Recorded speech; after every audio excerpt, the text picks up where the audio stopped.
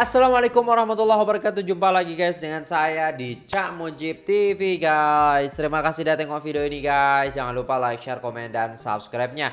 Oke di sini kita akan mereaction sebuah video guys Yang di request oleh teman-teman sekalian nih Yaitu alasan kenapa saya memilih NU Ngaji Gus Baha Subtitle Indonesia guys ya Dari channel Berkah Ngaji TV Nah langsung saja guys kita play videonya. Let's go. Pak Yusuf kan? Ya. Itu kan salah satu oh, tokoh Muhammadiyah. Kok Babe jadi pengurus NU tuh gimana ceritanya?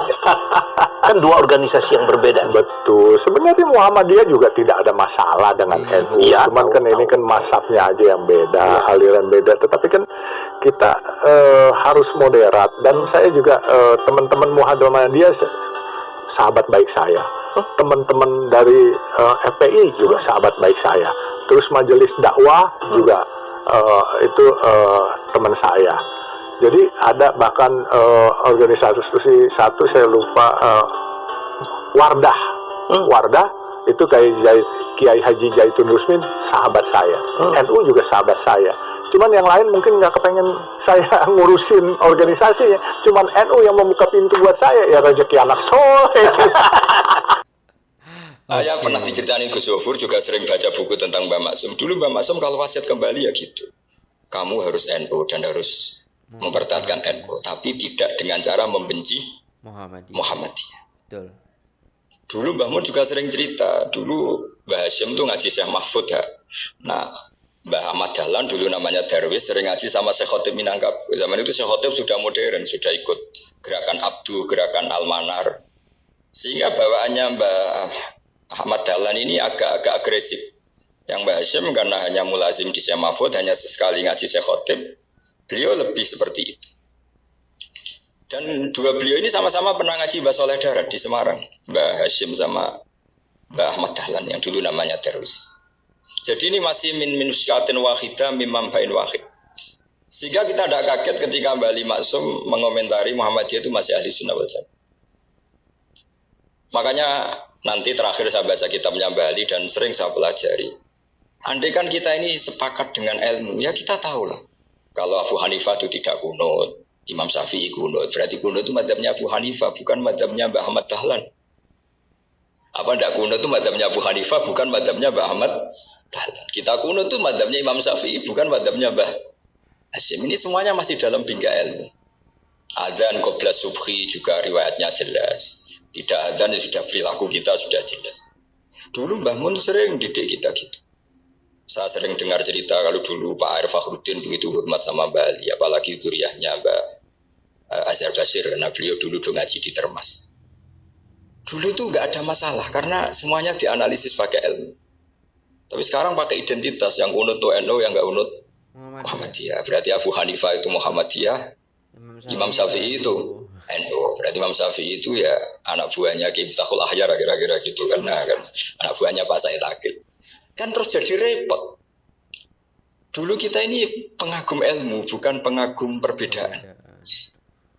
Sehingga di sini yang saya kagum dari sekian ceritanya Mbah Ali Maksum supaya kitab ini tuh poin supaya nggak lama-lama karena waktunya juga. Nanti kalau kemalaman ini kena semprit ini sudah. Ini di antara yang diceritakan Wali itu nih. Imam Syafi'i itu sering tawassul, sering wasilah sama siapa itu? Abu Hanifah. Ini sudah tak petakan saya baca yang yang sensitif-sensitif lah, so yang yang ini ya. Ziyar al babus samin terus sebentar ini yang bab tawassul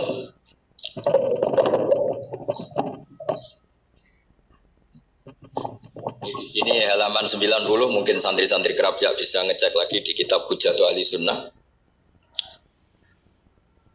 Ketika cerita tawasul di antara yang diceritakan Bali Maksum adalah perilaku ya, bukan sekedar statement tapi apa? Perilaku. Perilakunya Imam Syafi'i atau akhwalnya kalau bahasa halusnya yang selalu ke makamnya Abu Hanifah untuk tawasul. Padahal Imam Syafi'i itu orang yang secara ilmu sering kritik Abu Hanifah. Jadi ini saya baca ini di halaman 100 jadi tawasul mulai halaman 90 berapa ini? Sampai halaman ini yang set. Qala sami'tu Syafi'iyya yaqul inni la atabarraku bi Abi Hanifah wa aji'u ila qabri fi kulli yaumin zairan. Fa idza hajatun shallaitu rak'atain halaman 100 wa ji'tu wa sa'altu Allah ta'ala al hajat indahu fama taqudu anni hatta tuqda.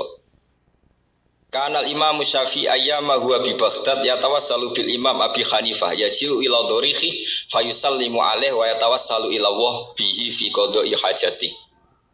Terus wa tawassalul Imam Ahmad di Imam Syafi'i. Jadi di antara yang diceritakan Mbah Halim Maksum itu betapa Imam Syafi'i yang terkenal sering mengkritik Abu Hanifah dalam tatanan fikih karena beliau tidak percaya ada istihsan. Abu Hanifah berpendapat adanya istihsan dan kita tahu lah ikhtilafu Syafi'i wa, wa Abu Hanifah itu besar sekali. Tapi beliau itu tahu Abu Hanifah itu orang yang sangat soleh.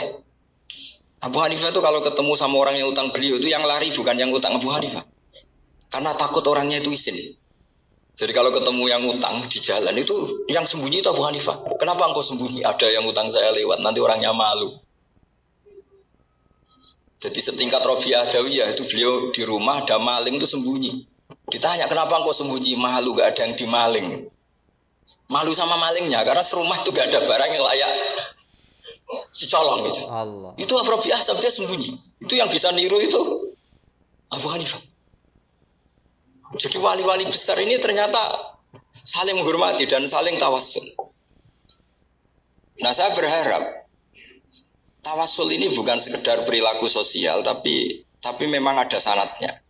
Sehingga terus diceritakan Bali di sini dulu Istaqa Umar bil Abbas. Kata siapa tawasul harus dengan Rasulullah Shallallahu Alaihi Wasallam dulu istaqor Umar bil Abbas Sayyid, Sayyidina Umar itu tawasul istisqa dengan Sayyid Abbas. Padahal kita tahu Sayyid Abbas ini tidak nabi. Terus beliau cerita sampai Imam Syafi'i tawasul sama Abi Hanifah. Sehingga nggak ada perdebatan itu kan Umar. Kalau Umar kan ada jaminan boleh diikuti karena beliau sahabat. Bali cerita tentang Imam Syafi'i yang tawasul dengan Abu Hanif. Seargumentatif itu.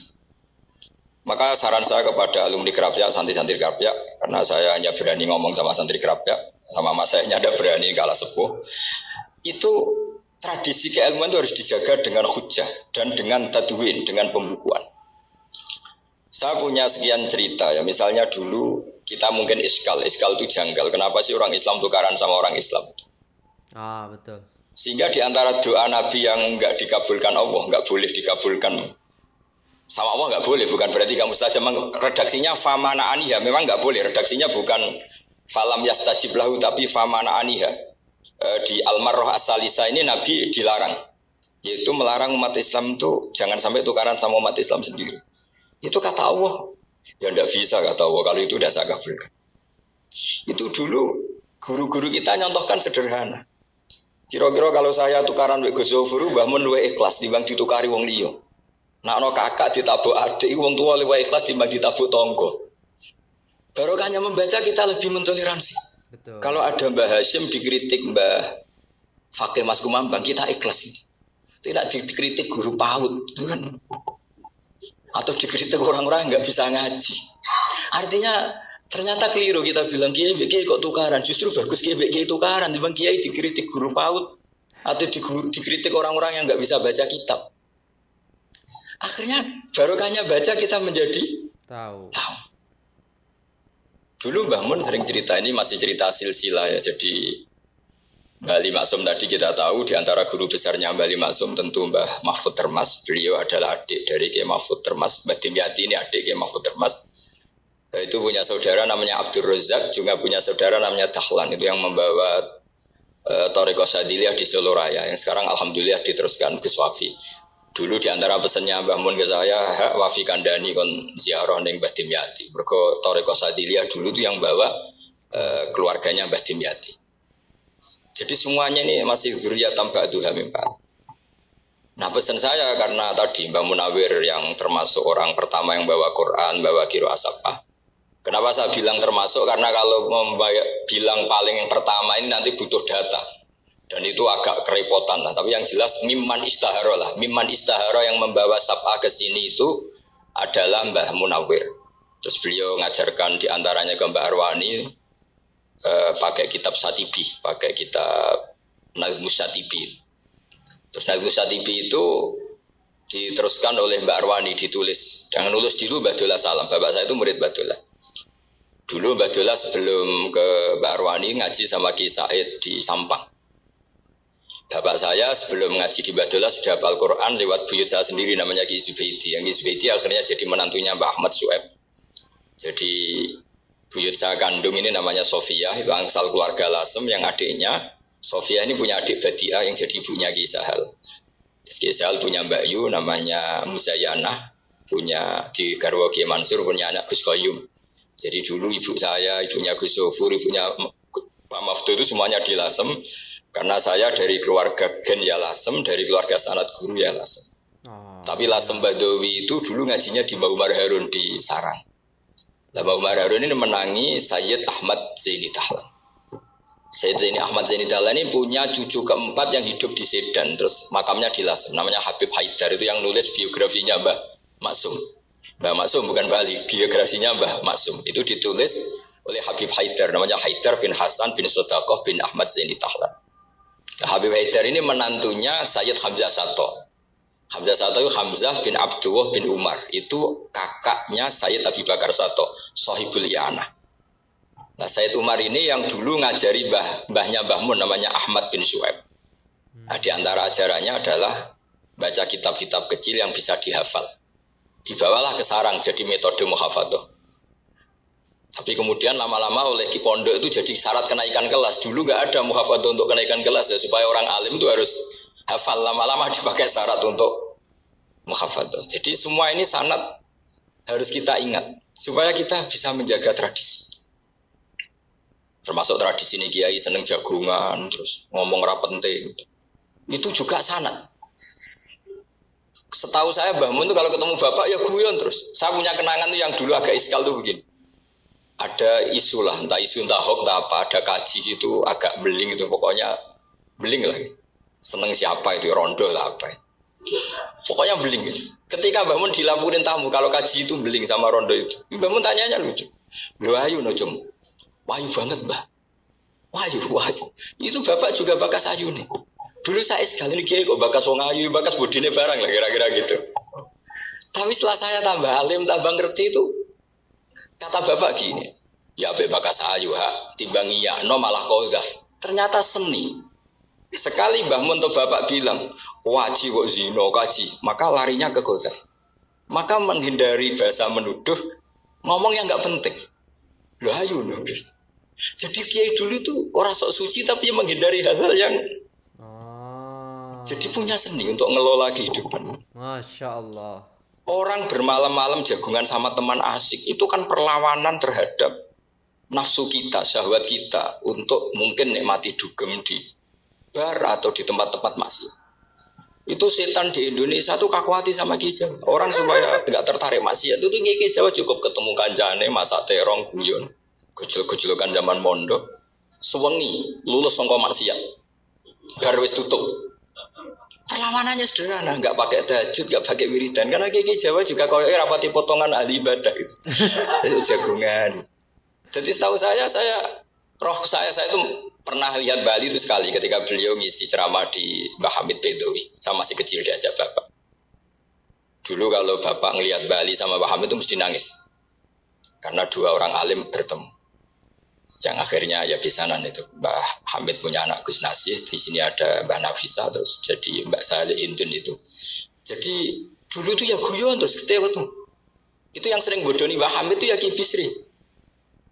Ki Bisri itu kalau datang ke Ki Hamid Pasuruan nak wali tenan aku teko di tata nomangan jadi ukurannya ya ternyata sampai sana di keimangan tenan. Masih belum mengakui kan awali tenan aku itu kiai rum di mobil dongak aku di mobil.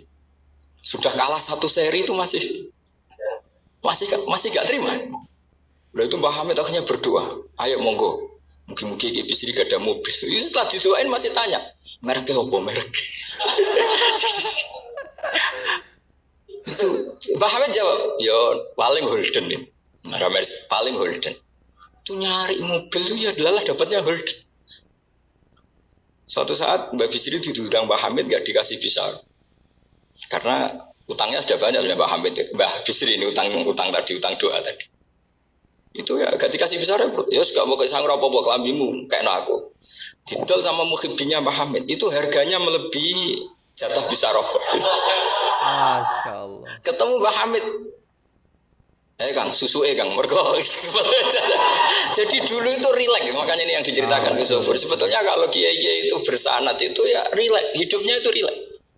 Karena rileks ini perlawanan terhadap kemungkaran. Oke okay, sudah selesai videonya dan itulah tadi ya kan Gus Baha, masya Allah, itulah kehebatan kiai kiai NU ya guys ya, kewalian-kewalian yang masya Allah banyak orang yang kadang tidak menyangka seperti itu.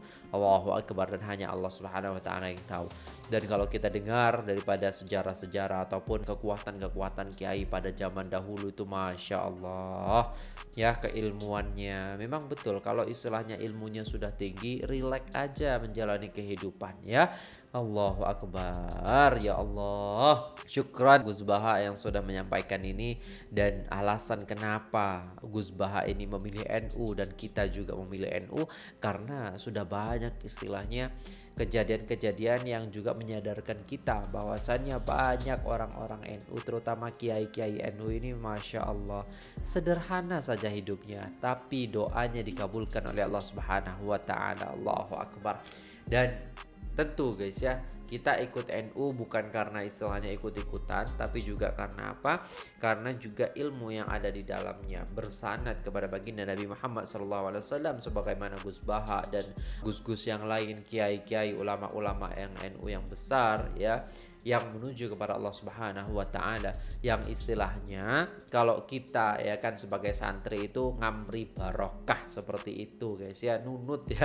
Nunut ya. Mergo kita itu sangat-sangat banyak sekali kemaksiatan-kemaksiatan kita lakukan maka kita nunut aja semoga mendapat barokahnya dan setidaknya kita selamat nantinya. Amin amin ya rabbal alamin. Oke guys itu saja video kali ini. Masya Allah. Terima kasih buat teman-teman semua yang sudah nonton. Jangan lupa like share komen dan subscribe channel Camjib TV itu saja video kali ini guys. Terima kasih buat teman-teman semua. Mohon maaf apabila ada salah kata. Wassalamualaikum warahmatullahi wabarakatuh